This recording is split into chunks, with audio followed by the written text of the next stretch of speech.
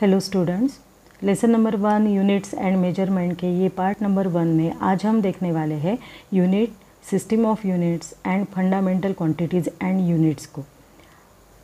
आज हम देखने वाले हैं यूनिट यानी क्या पहले तो। In our daily life we need to measure a number of quantities अब आप जैसे सब्ज़ी मार्केट जाते हो, वहाँ पे आप कोई भी सब्ज़ी लेते हो तो आप बोलते हो कि मुझे ये सब्ज़ी इतने हाफ़ के जी चाहिए या वन के जी चाहिए। यानी हर दम आप कोई भी क्वांटिटी यानी कोई भी सब्ज़ी ले रहे हो तो आप उसकी क्वांटिटी को मेजर कर रहे हो, ठीक है? और in our daily life we also measure the size of object volume of liquids, जैसे हम दूध लेते हैं तो बोलते हैं एक लीटर दूध दो। तो यहाँ पे हम दूध की क्वांटिटी को मेजर कर रहे हैं और वो भी मेजर कर रहे हैं, वहाँ पे हम यूज़ कर रहे हैं लीटर ये वर्ड को। ठीक है? जैसे और हम weight of weights of body को भी मेजर करते हैं वेट ऑफ़ बॉडी को भी मेजर करते हैं, या टेम्परेचर आज का टेम्परेचर 25 डिग्री सेल्सियस है, या ये लेंथ है क्लोथ की लेंथ है फाइव मीटर यानी हरदम ये हम मेज़रमेंट करते हैं। उस मेज़रमेंट करते समय उसमें एक स्टैंडर्ड मेजरिंग यूनिट इन्वॉल्व रहता है। ठीक है? और ये यूनिट कैसा है? इट इज़ यूनिवर्सली या इंटरनेशनली एक्सेप्टेड वो यूनिट कैसा है? इंटरनेशनली एक्सेप्टेड यूनिट हम वहाँ पे यूज़ कर रहे हैं। जैसे हम बोल रहे हैं कि वन के जी एप्पल दो तो वहाँ पे के जी यानी किलोग्राम ये यूनिट कैसा है? तो ये यूनिट है यूनिवर्सली या इंटरनेशनली एक्सेप्टेड ठीक है? तो ये जो स्टैंडर्ड है, जहाँ पे हमने अभी बोला कि वन के जी वन के जी यूनिट जो बोला है, अब हमको ये यूनिट कर टॉपिक ही देखना है। तो वन के जी आप जहाँ पे बोल रहे हैं तो ये के जी यानी किलोग्राम ये क्या है? तो ये है यूनिट ठीक है? और जैसे हम लैब में एक्सपेरिमेंट करते हैं तो एक्सपेरिमेंट करते समय भी हम बहुत सारे क्वांटिटीज़ को मेजर करते हैं। जैसे वेलोसिटी है एक्सेलरेशन है डिस्प्लेसमेंट है टाइम को मेजर करते हैं। तो ये जो मेजर करते समय उनको, उनके लिए एक एक स्टैंडर्ड स्टैंडर्ड में उसको मेजर करते हैं। It is known as unit ठीक है? तो यूनिट यानी क्या है? आप यहाँ पे आपको दिखाई दे रहा है फ़र्स्ट लाइन कि the standard measure the standard measure of any quantity is called unit ठीक है? तो जो मेजर कर रहे हैं कोई भी क्वांटिटी को, उसको क्या बोलते हैं? वो स्टैंडर्ड मेजर है, जो which is accepted internationally universally it is known as unit ठीक है? तो यूनिट की डेफिनेशन क्या है फिर? The standard measure of any quantity is called as unit ठीक है? तो डिफरेंट क्वांटिटीज़ के डिफरेंट यूनिट्स रहते हैं। जैसे हम अभी, हमने अभी देखा कि लेंथ है लेंथ का यूनिट कितना है? लेंथ का यूनिट क्या है? लेंथ का यूनिट है मीटर और सिंबल है एम टाइम का यूनिट क्या है? टाइम का यूनिट है सेकेंड और सिंबल है एस यहाँ पे आपको दिखाई दे रहा है। मास का यूनिट है के किलोग्राम और सिंबल है के जी वैसे वेलोसिटी का भी यूनिट है। वेलोसिटी का यूनिट है मीटर पर सेकेंड ठीक है? तो हरे, हर बार हम कोई भी फ़िज़िकल क्वांटिटी मेजर कर रहे हैं और उसके साथ में एक स्टैंडर्ड मेजर यूज़ कर रहे हैं। That is known as unit ठीक है? फिर क्लियर हो गया यूनिट यानी क्या है तो? तो अब आपको यूनिट मीन्स क्या है कि एक कोई भी value along with the some standard measure उसके साथ एक वैल्यू रहेगी। यानी सपोज़ हमको वो, हम बोल रहे हैं कि वन के जी एप्पल दो। तो वन के जी यानी यहाँ पे हमको वैल्यू भी दिखाई दे रही है और यूनिट भी दिखाई दे रहा है। ठीक है? तो unit is measure along with some value ठीक है? यहाँ तक समझ में आया आपको? अब हम देखेंगे ये यूनिट के क्या क्या सिस्टम है। That is we see now the system of units system of units को देखने वाले हैं। तो पहले जो सिस्टम ऑफ़ यूनिट्स थी mainly there are four system of units आपको दिखाई दे रहे हैं, पर पहले के ज़माने में only first three systems namely जो पहले तीन सिस्टम है C G S sorry C G S system M K S system and F P S system generally use किए जाते थे, ठीक है?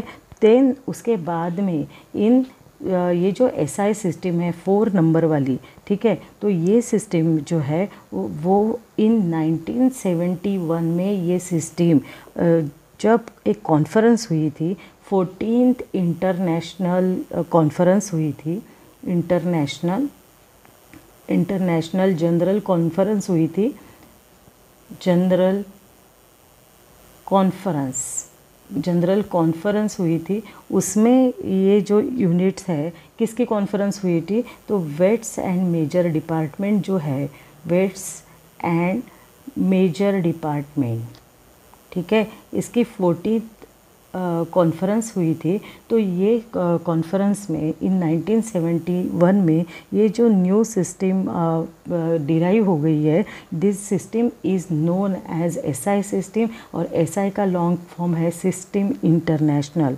तो it is known as this SI system is known as international international system international system of units okay ठीक है, समझ में आया। फिर there are four system of units first one is known as C G S system second one is known as M K S system third one is known as F P S system and fourth one is known as S I system ठीक है? तो अब पहली जो सी G S system है, उसका long form हम देखने वाले हैं। It is known as C stand for centimetre G stand for gram and S stand for second system okay?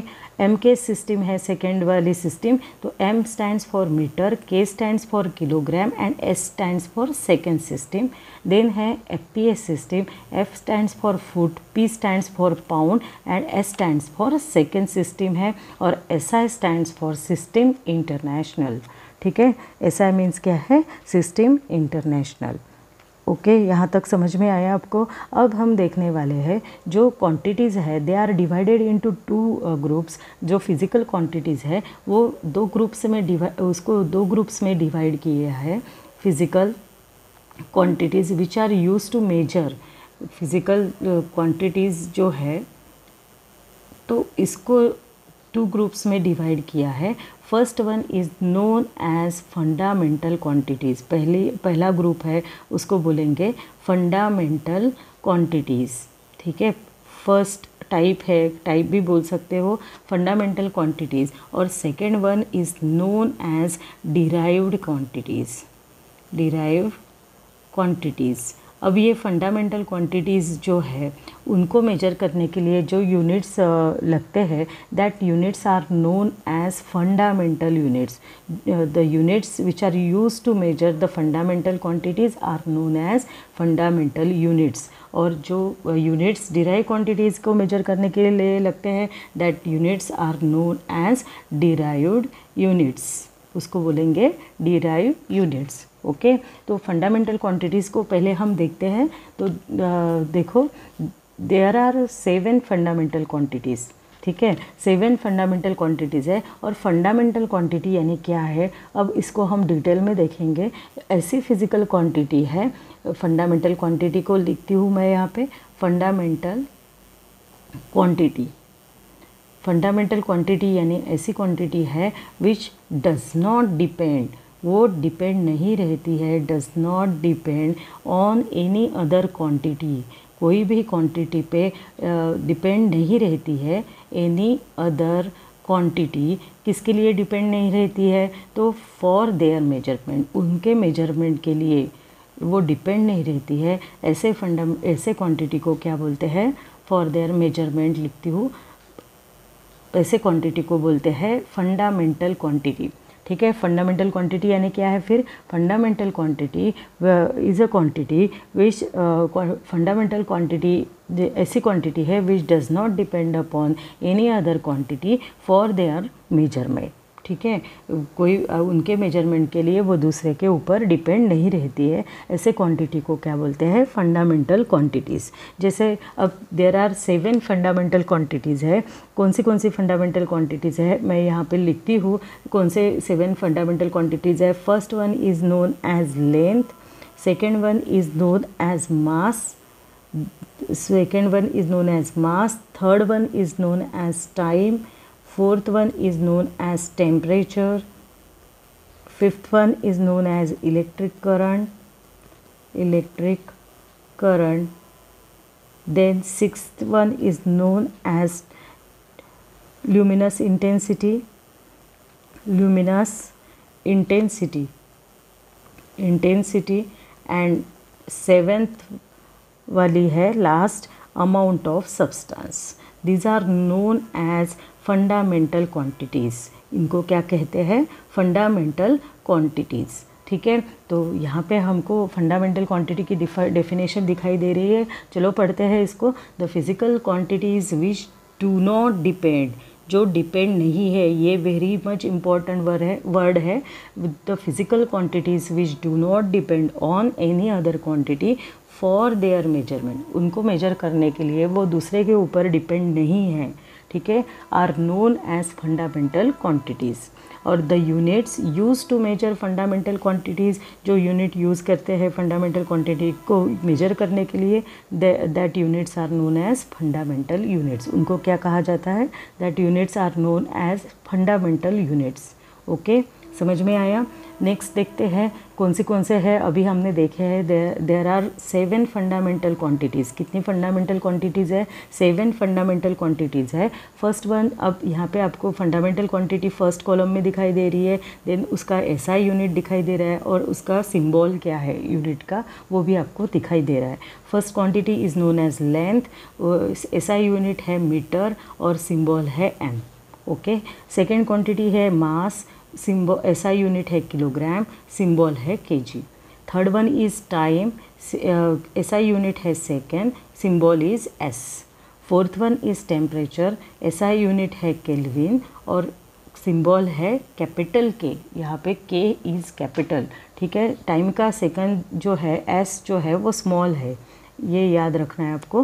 Fifth number की क्वांटिटी है इलेक्ट्रिक करंट उसका यूनिट है एम्पियर एम्पियर का ए छोटा है बट सिंबल का A it is a capital letter ठीक है? A is a symbol then six वाली क्वांटिटी जो है it is known as luminous intensity S I unit is candela and it is symbol is C D okay then seventh number वाली जो fundamental uh, quantity है it is known as amount of substance ऐसा unit है mole और symbol है M O L okay यहाँ तक समझ में आया। These are seven fundamental quantities कौन सी कौन सी है? Length mass time temperature electric current luminous intensity and amount of substance ठीक है? अब ये सेवन फंडामेंटल क्वांटिटीज़ को मेजर करने के लिए यहाँ पे आपको यूनिट्स दिखाई दे रहे हैं। That units are known as fundamental units अब ये सेवन फंडामेंटल क्वांटिटीज़ को लेकर अब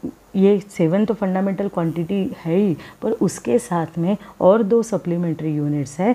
हम नेक्स्ट लेक्चर में वो दो सप्लीमेंट्री यूनिट्स को भी देखेंगे और जो डिराइव क्वांटिटीज़ जैसे मैंने अभी बताया कि there are two types of fundament there are two types of quantities जो है फंडामेंटल एंड डिराइव उसको हम डिटेल में नेक्स्ट लेक्चर में देखेंगे, ठीक है? आज के दिन, आज के लिए यहाँ पे रुक जाते हैं। Okay then bye bye have a good day thank you